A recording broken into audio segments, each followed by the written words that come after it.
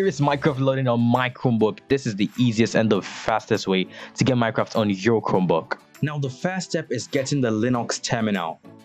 Hit the search bar and type in settings. Now once the settings loads up, go to the bottom left and hit advanced. Go down to developers and make sure your Linux environment is enabled so that you can have the Linux terminal. Alternatively, you can go to the top and type in Linux and it should lead you to the same exact place. Step 2 is getting the Linux terminal commands which is linked down in the Google Docs description down below. Now go ahead and hit set. And once you hit set, just go ahead and type in Linux, which will bring up the terminal. Once you have your terminal open, what we're going to do is that we're going to copy each one of these codes from code 1 to code 8 and then we're going to paste it right in the terminal. So for now, what I'm going to do is that I'm going to copy code 1 and then I'm actually going to zoom out and go back to my terminal CTR Shift V should do exactly the job. I've pasted it and I'll let it do its job. I'm going to go ahead and copy code 2, go back to the terminal and then CTR Shift V again, copy it there. But this time we're going to see yes or no. This is Y slash N. You want to type in Y so that the program can keep going.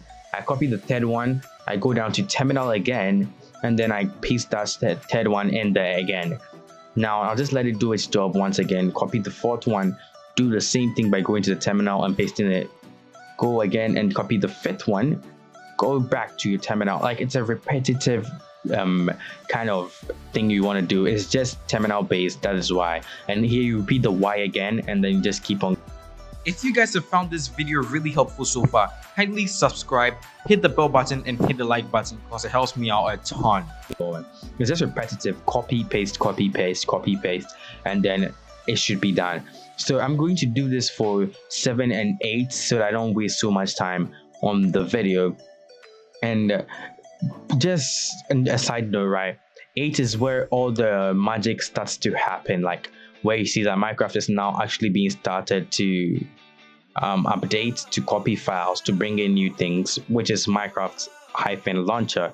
So this is going to start the Minecraft um, launcher downloading and then I'm gonna like the video is skipped in parts so bear, bear like bear with me for the meantime. It's skipped um, in parts just so I can finish quickly. Now the Minecraft launcher after updating is going to open what we're familiar with as a Minecraft interface where you're supposed to log in and stuff like that. So here we are after a long day of trying to put in a lot of codes. I'm going to input my login details and come back later so now I have my input details being logged in. I'm going to choose what release version I want to play and I'll click play.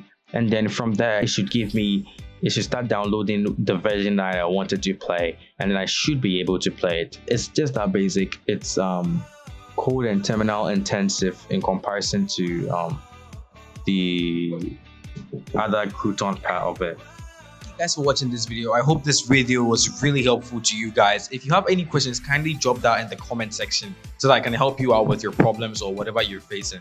That's it guys kindly try to smash the subscribe button hit the like button and join my discord down in the description because that helps me out a ton. And with that said i'll see you guys in my next video. Peace out boys